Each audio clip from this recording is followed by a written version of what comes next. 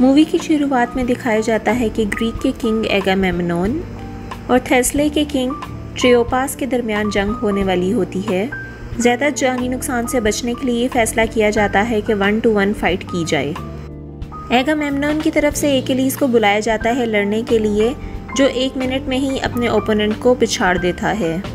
Scenes बदलकर Sparta की तरफ़ आते हैं, जहाँ पर हेक्टर, जो कि ट्रॉय का प्रिंस है और उसका भाई पेरिस किंग मेनेलुस, जो कि स्पार्टा का किंग है, उसके साथ एक पीस ट्रीटी साइन करने आए होते हैं।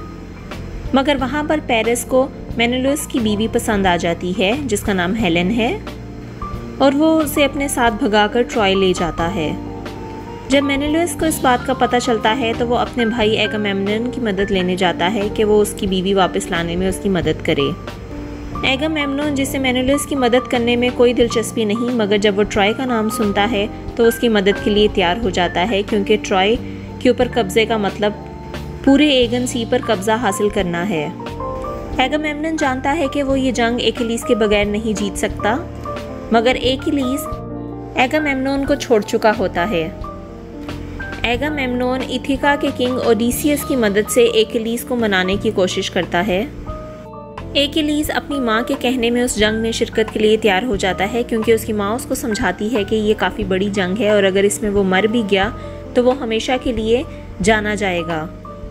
सीन्स बदल कर वापस ट्रॉय की तरफ़ आते हैं, जहाँ पे किंग प्रियम, जो कि पेरिस का बाप है, और उसकी बीवी को जब पता चलता है कि पेरिस ने क्या हरकत की है तो वो काफ़ी खौफजदा हो जाते हैं, मगर फिर भी वो हेलन को अपने महल में स्वागत करते हैं।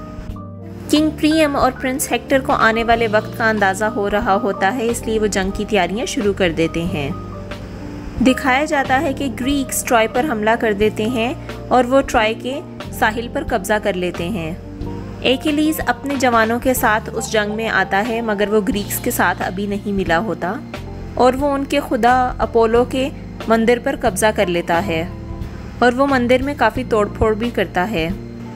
वहाँ पर वो अपोलो की एक दासी ब्रिसियस को पकड़ लेते हैं, जो दिखाया जाता है कि प्रिंस हेक्टर और पेरिस की कज़न है।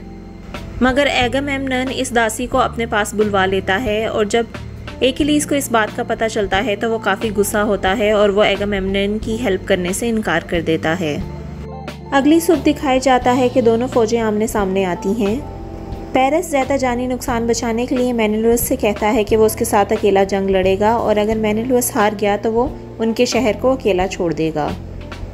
मैनेलुअस जो कि एक काफ़ी बहादुर फौजी है, वो इस बात पर काफ़ी हंसता है और पेरिस की ऑफ़र कबूल कर लेता है। जब पेरिस हारने लगता है तो वो डर के मारे अपने भाई हेक्टर के पास जाके छुप जाता है और हेक्टर उसको बचाता है। हेक्टर के बचाव पर ग्रीक्स को गुस्सा आ जाता है क्योंकि ये जंग के असूलों के ख़िलाफ़ है। और उनके दरमियान जंग शुरू हो जाती है और दिखाया जाता है कि ट्रोजन्स ग्रीक के ऊपर सबकत ले रहे हैं। एगामेमनोन अपने साथियों को हारता देख उनको लेकर वापस ट्रॉय के साहिलों पर चला जाता है और वहाँ जाकर जब वो सोचता है कि उसके हारने की वजह क्या है तो ओडीसीएस उसको बताता है कि एकलीस उनके साथ मौजूद नहीं था। एगम एमनोन को इस बात पर काफ़ी गुस्सा आता है और वो उस दासी को अपने लोगों को दे देता है एकलीस ब्रिसियस को एगम के लोगों से बचाकर अपने खैमे में ले जाता है। दिखाया जाता है कि तैश में आकर ब्रिसियस एकलीस को नींद में मारने की कोशिश करती है, मगर वो इसमें नाकाम रहती है और आहिस्ता आहिस्ता दोनों एक दूसरे को पसंद करना शुरू हो जाते हैं। ब्रिसियस की खातिर एकिलीस ट्रॉय को छोड़ने का इरादा करता है, मगर एकिलीस के साथ ही इस फैसले से खुश नहीं होते, स्पेशली उसका कज़न पेट्रोक्लस। दूसरी तरफ़ दिखाया जाता है कि प्रियम, जो कि ट्रॉय का किंग है, वो अपने बेटों को हुक्म देता है कि वो ग्रीक्स को साहिलों पर जाकर वहाँ से भी भगा दें और वहाँ पर उनके साथ जंग करें। हेक्टर अपने बाप को ऐसा करने से रोकता है और वो ये कहता है कि वो अपने सिटी की दीवारों के अंदर ज़्यादा महफूज हैं, मगर उसका बाप उसकी बात नहीं मानता। मजबूरन हेक्टर अपने साथियों के साथ साहिलों पर जाता है और ग्रीक आर्मी के साथ लड़ता है। वहाँ पर दिखाया जाता है कि एक शख्स हेक्टर पर हमला करता है और हेक्टर को वो एक लगता है और लड़ाई में हेक्टर उसको मार देता है। मगर जब हेक्टर उसकी शक्ल देखता है तो उसको पता चलता है कि ये एकिलीस नहीं, बल्कि उसका कज़न पेट्रोकुलस है। इस बात से अफसरदा होकर हेक्टर जंग बंदी करता है और अपने लोगों को लेकर वापस शहर के अंदर चला जाता है।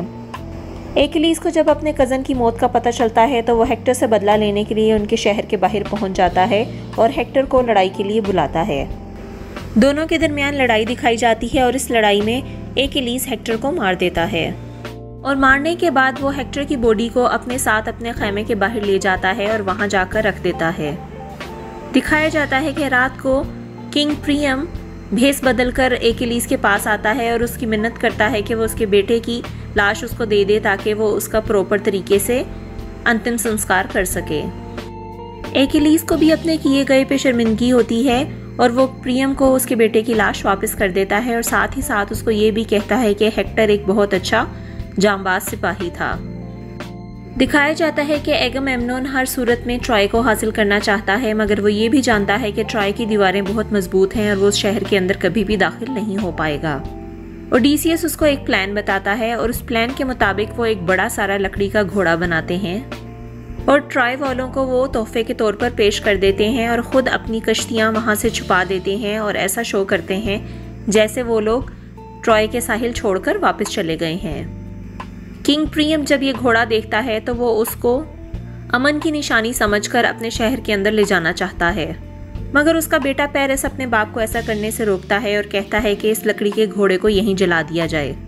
प्रियम उसकी बात नहीं मानता और उस घोड़े को खींचकर अपने शहर के अंदर ले जाते हैं। दिखाया जाता है कि रात को जब सब लोग सो जाते हैं तो उस घोड़े के अंदर से ग्रीक की फौज निकलती है और वो शहर के ऊपर कब्जा करना शुरू कर देती है। और साथ ही साथ वो अपने बाकी साथियों के लिए शहर के दरवाजे भी खोल देते हैं। ग्रीक्स ट्रॉय को जला देते हैं और हर चीज़ पर कब्जा जमाना शुरू कर देते हैं। एकिलीस भी उनके दरमियान होता है, जो ट्रॉय में सिर्फ़ और सिर्फ़ ब्रिसियस को बचाने के लिए आया होता है, जिसे उसने हेक्टर की बॉडी और प्रियम के साथ वापस भेज दिया था। एकिलीस दिखाया जाता है कि जब वो ब्रिसियस से मिलता है तो उस वक्त पेरिस उसे देख लेता है और अपने भाई की मौत का बदला लेने के लिए उस पर तीर चलाता है। जो कि उसकी एड़ी में जाकर लगता है, जिसकी वजह से वो भागने या चलने से कासिर हो जाता है और फिर पेरिस उस पर बाकी तीर चलाकर भी उसे मार देता है। दूसरी तरफ़ दिखाया जाता है कि हेक्टर की बीवी अपने बेटे और जितने बचे हुए ट्रॉय के लोग होते हैं, उनके साथ एक खुफिया रास्ते से शहर से बाहर निकल जाती है, जो उसके शोहर ने उसको बताया होता है। मूवी के अख्ताम पर दिखाया जाता है कि ग्रीक्स ट्रॉय के ऊपर कब्जा कर लेते हैं और एकिलीस के अंतिम संस्कार के लिए ओडीसीएस खुद तैयारी करता है और वो खुद उसकी चिता को आग देता है।